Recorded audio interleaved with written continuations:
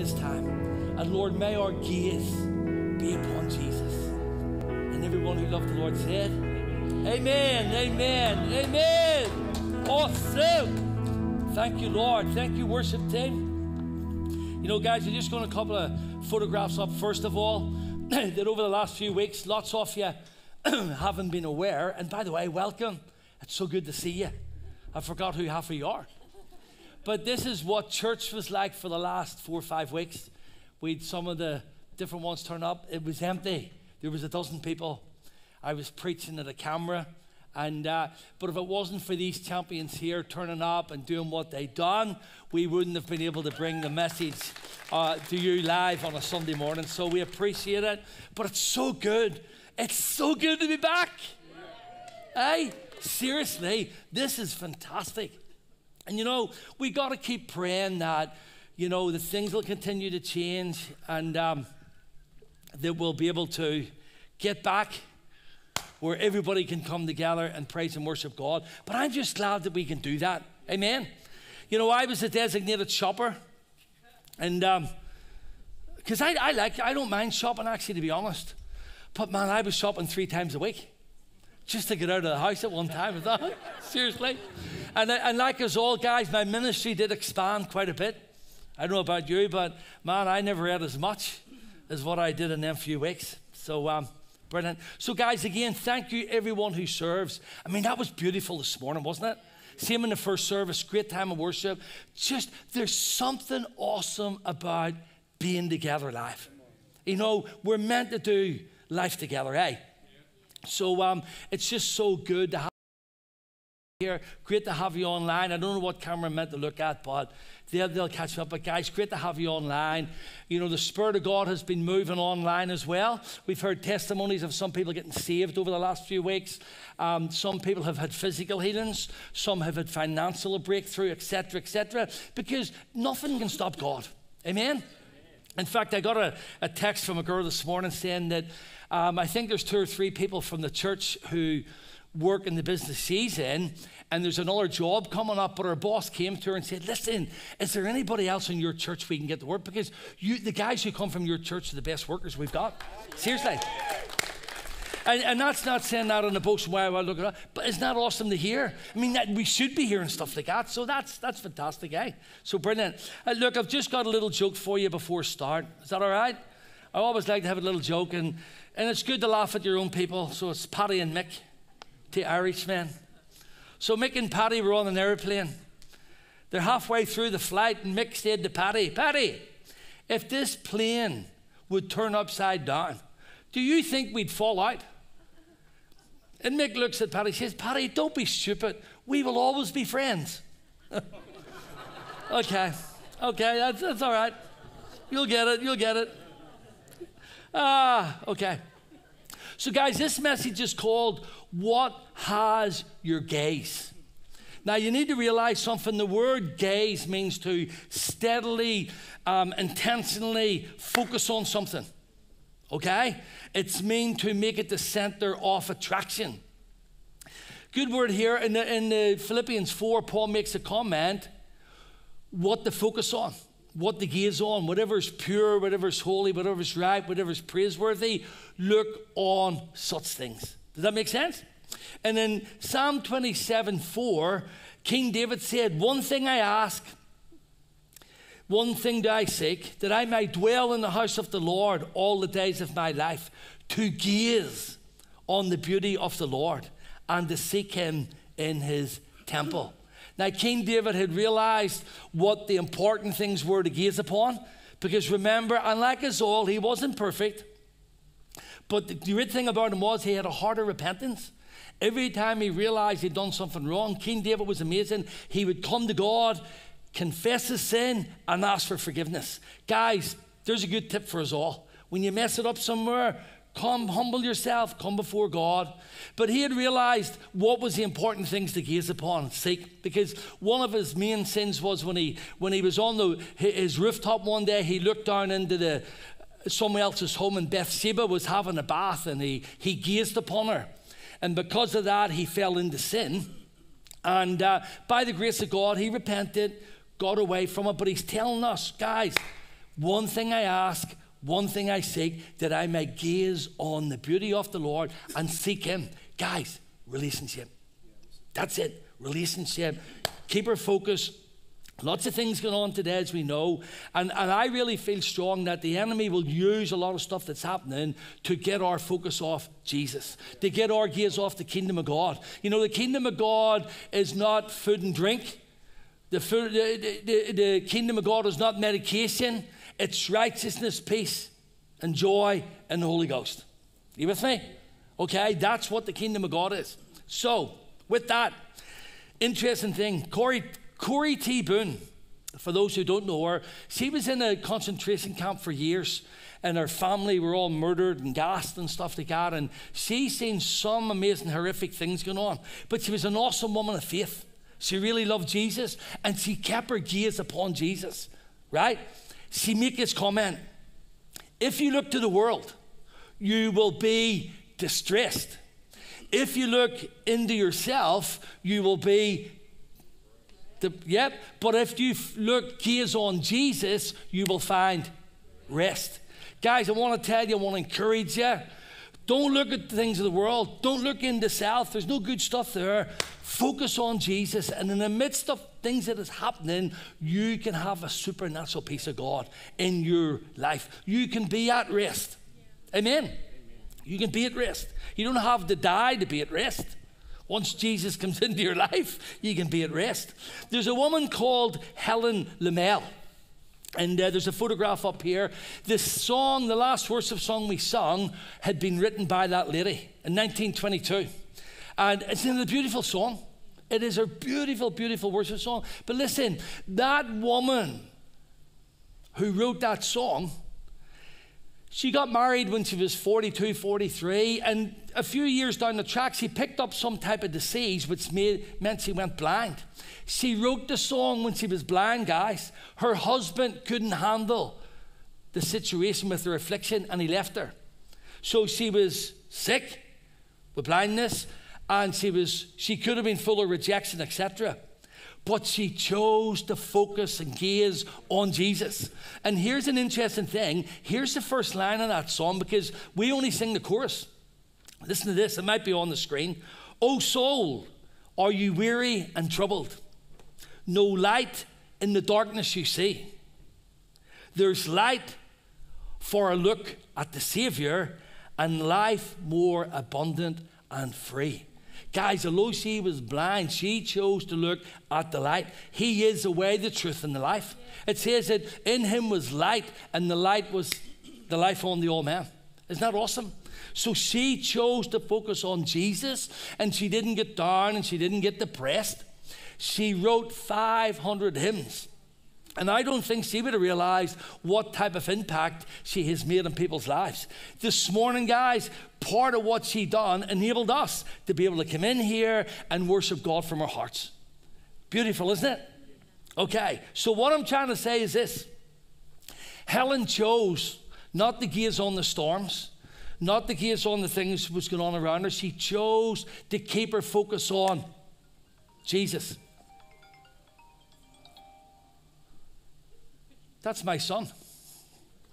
I should have answered it, shouldn't I? yeah. No, I shouldn't have. okay, so she chose not to focus on the storm and have an attitude about, oh Lord, I'm not well, or my husband's left me and I'm feeling rejected. She stayed focused on Jesus. Church, let me tell you something if it's okay. You're going to face storms. You're going to face certain things at different times. And I'm not prophesying doom and gloom. I've been a Christian now 30 years. We've had different battles at different times, but I want to say something. Every single storm that came, God was with us. Every single single storm that was there, God brought us through.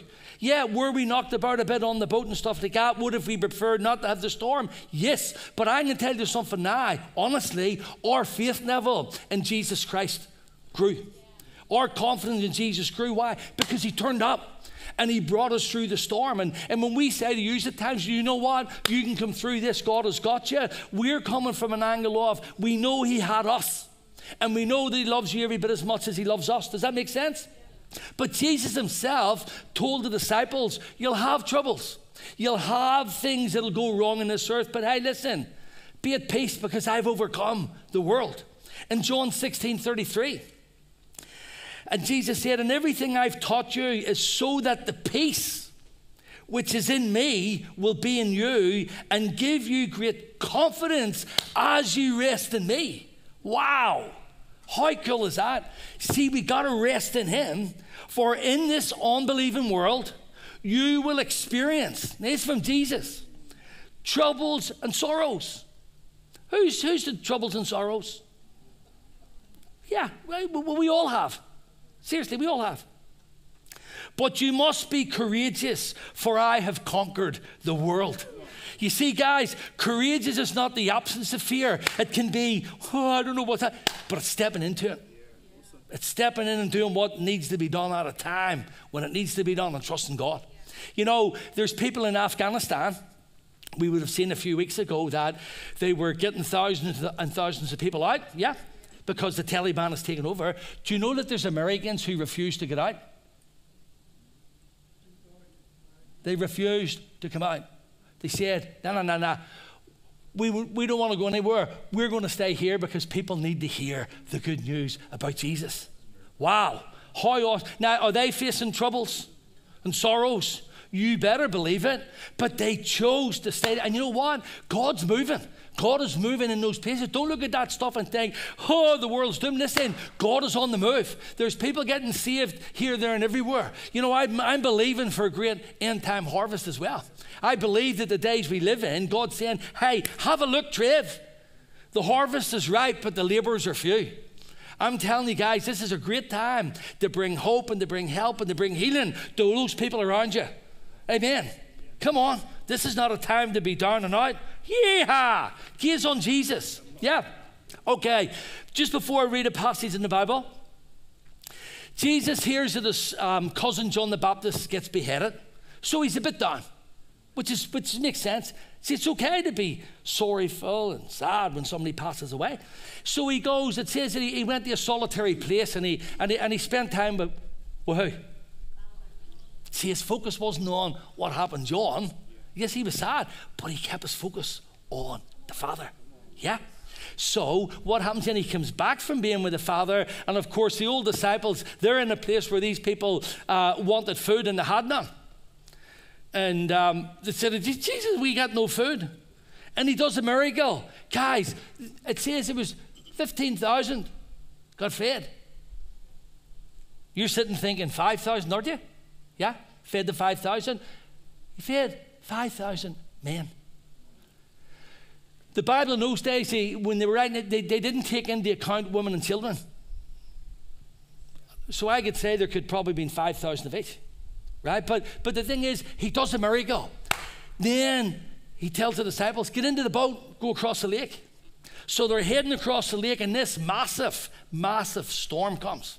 Like it wasn't just one meter waves. It was probably five, six meter waves and stuff like that. The, the, the, the theologians reckon that they're in the storm for maybe, you know, three to six hours. But all of a sudden, Jesus decides, see, the storm didn't bother Jesus. You know, there was a storm before. Remember, he was sleeping in the boat once, and they're freaking out. He's at rest, he's at peace, because his gaze is on the Father.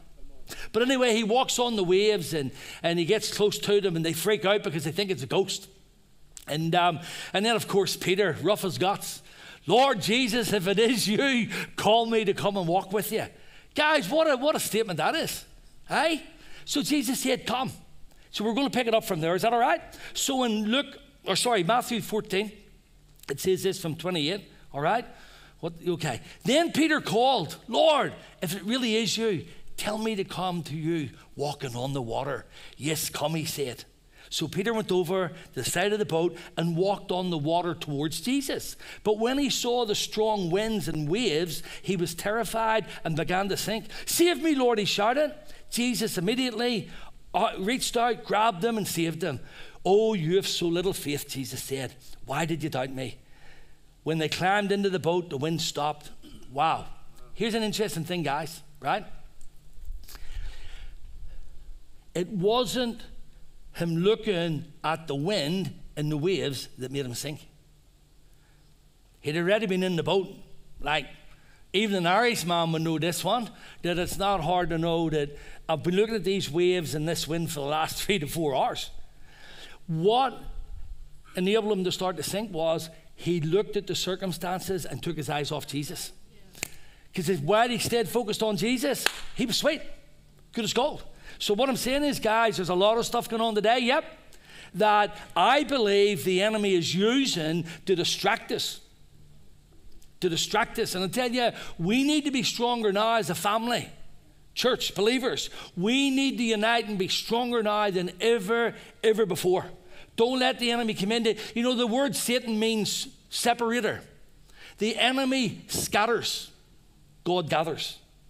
Now, I'm coming to a point here, and you'll see in a minute what, what I'm coming to, right? And I'm coming to the simple fact is there's a lot of fighting over who should get vaccinated and who shouldn't get vaccinated. And some of you are probably sitting, well, Pastor, what do you think about that? Yeah. Yeah. And that's, that's, that's a good question. This is what I think, and I'll challenge you with. Don't let that stuff make you fall out with a brother or sister. Jesus paid a price for us guys on the cross. He didn't pay a price for on the cross for us to be flipping stupid and let this stuff come in because our opinions are different and, and fall out with each other. We need unity. You with me? So here's what I think. And I say this both sides. Have a read at both stuffs. Not every single thing's a conspiracy. Okay, seriously, it's not. Have a look at stuff, but have a look at both sides. Pray about it. And whatever God puts in your heart, do it. Do it. And if you do something different than what I do, I don't care. I love you. Because I done something different don't make me better than you. I love you. I'm telling you now, some of you said in the first service, I'm going to marry some of you, and some of you I'm going to bury you. It's what happens in this sort of work. Hi. But, but what I'm saying is this, guys, please stay with me in this one. Please, please, please. Don't be fighting and falling out. Honor each other. If your opinion's different, I'm cool with that. That's all right. But I'm going to tell you now, some might not like this. I don't know. I'm, I'm, not, I'm not trying to say this to get in your face. If you're uneasy with it, go and pray to God about it. Don't attack the pastor. Don't send me any emails about it because I won't read them. And I'm not being rude. What I'm saying is this, guys. Look, I've read both sides. And you want me to be honest with you? I don't know a real truth.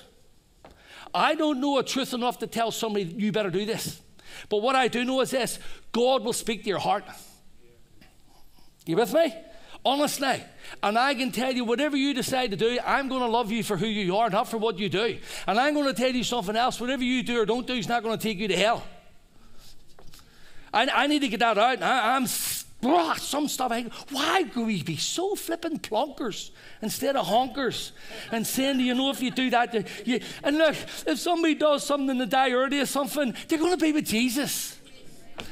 Right? And then let me tell you this because you're sitting there thinking, well, what have you done? You ready for it? It's none of your business. and I'm being honest with this. Come on, guys, I'm being honest. And I, at the minute anyway, at the minute I do not feel to tell you when I whatever I do. It's none of your business. Here's why. You see, pastors have got a lot of influence. And the thing is, because I'm not sure, I don't want to say you better do this because I'm not sure. I'm still seeking God. Yeah, but I'll tell you what, I'm not freaking out with what somebody done, somebody didn't. I'm not freaking out who I'm beside at the supermarket. I don't like wearing masks, but I'll wear a mask to do the shopping because that's what you got to do. I mean, that's not, wearing a mask is not sin. I, does that make sense? So, what I want you to know is this we love you. I'm praying for you. And, and, let me tell you something. I know for a fact this. Have a bit of grace in this, guys. I know some people's had to have a jag. And they probably didn't prefer to have it, but they had to because the wages, work, and all that stuff. I've got no right to turn around and say, Well, where's your faith? I mean, man, you got to feed your family, your kids. I, I get all that stuff. And don't you dare say to me, if, if I decide to get something, you have no faith. That's a lot of rubbish. Anytime I go to the doctor, I got faith. If I had no faith in the doctor, I wouldn't go. If you don't believe you're going to get healed, why would you go? Come on. But would I tell you, Jesus isn't against doctors and medication. We've seen that last week. When I go anywhere, I pray, Lord Jesus, if I've got to take something, and you can ask my wife, I will hang out as much as I can without doing anything. But at times comes, and, and sometimes I've been too stubborn. I should have went early. But but I've, I've hung in that, Lord. I'm not, I believe you're going to heal me in this one. And then I've had to go to docs, and I've said, Lord, whatever I get, I pray that He's got the wisdom to discern what's wrong with me, and He'll give me the right medication to help me. Now, do you see any horns in the head? I haven't grew three arms or anything else. Are you with me in that? Does that mean? So, but guys, let, let me with you. Please, some of you at times have grace on the opposite. So sometimes the ones who um, are anti some, they, they get hammered as well. And, and they've got some good points in what they're saying, but sometimes some people just want to talk them down. Let's not want to talk each other down. Let's just love each other. Let's flip and pray for each other. Let's cheer each other on. And I tell you what, God ain't taken by surprise. He's still on the throne. Amen. Well, give a Lord a clap for that one. Okay. So, we're finishing. So, here's the mark of being a believer a disciple. You're not called to be a comfort. So I, am looking at disciples. I'm looking at people who walk with Jesus, right? I'm looking at people who bring hope and healing and help into people's lives. I'm looking at people who can lay hands on the sick and the sick can recover. I'm looking at people who can lay hands on the sick and cast out demons. I'm looking at people who can speak in new tongues. Are you with me? Because that's a disciple. And here's how we're meant to live. Now, Jesus said people would know we are his disciples by our love for the doctor. No, each other. Yes. Come on. So that's how we're. So here we go. Here's how to live. Romans 19, or sorry, Romans 12, 9 to 13. Love must be sincere. Hate what is evil. Cling to what is good. Be devoted one to another in love. Honor one another above yourselves. Tell me this, I'm not being rude. If you're arguing and fighting your point, is, is that is it showing love? We'll move on. Honor one, okay. Never be lacking zeal. I got plenty of zeal. You want some? I'll give you some. Uh, but keep your, keep your spiritual fervor, right? Serving the Lord. Here we go. Be joyful in hope, patient in affliction, faithful in prayer. Share with the Lord's people who are in need. Practice hospitality. Verse 16. Live in harmony with one another. Guys, I feel that's a command. Paul saying, hey, live in harmony, be united. Let, let's unite around the things that really count. You got to be born again. Jesus is the one who died for your sins. The Bible is the Word of God. Let's be united on those things and reaching the lost. Amen. So, so let's gather to celebrate the things we have in common. Live in harmony one another. Do not be proud, but be willing to associate with people of low position. Well, you're already doing that. Because if you're associating with me, you got to be fulfilling that part of it. Is that right? if it is possible, say the person beside you, if it is possible. As far as it depends on you, this is lovely. This is a lovely word, isn't it? Aye? Isn't it a lovely word? Aye. Live in peace with each other. Wow. So it depends on us. We should be looking at ways to live in peace with one another. And does that make sense? Yeah. Now, it's not my word, it's His word. Here's the thing turn your eyes upon Jesus. Proverbs 4 20. My son, attend unto my word. Let your ear listen to what I'm saying. Why? It's life to those who find it and health to all their flesh. Guys, everything we need to know on how to live life, it's there. It's in the Word of God. Now, I've just read you the Word of God about being the devoted to each other, do your best to live at peace and stuff. Why? We can do that stuff. We got the Holy Spirit. Yes. So I'm finishing as you get ready. Ah, here's the thing. Don't take your gaze off the. Oh, what's this? Okay?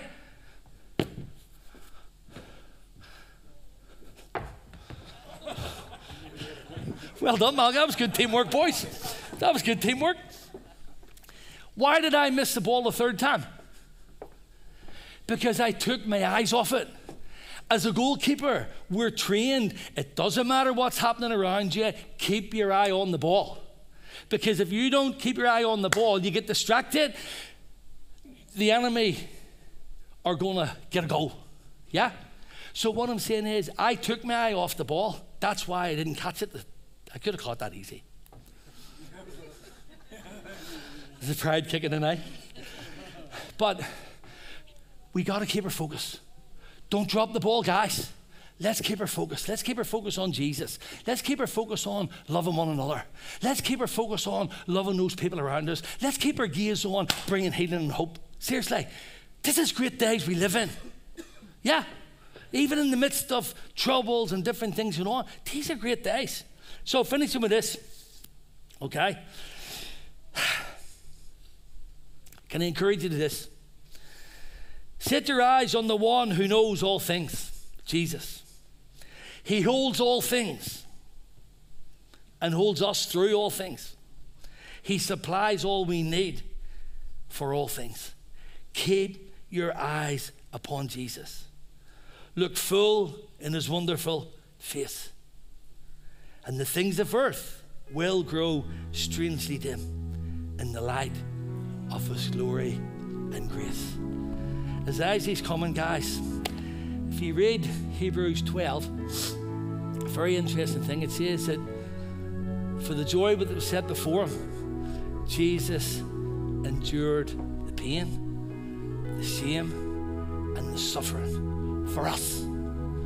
He knew what was going on, but he could see. He had his focus on the Father, he could see that he, by what he was going through and suffering, that that was going to win us eternal life.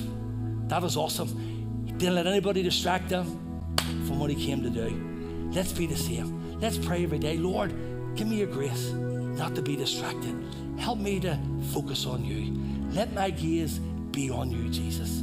Let me bring hope and healing to those around me. In the mighty name of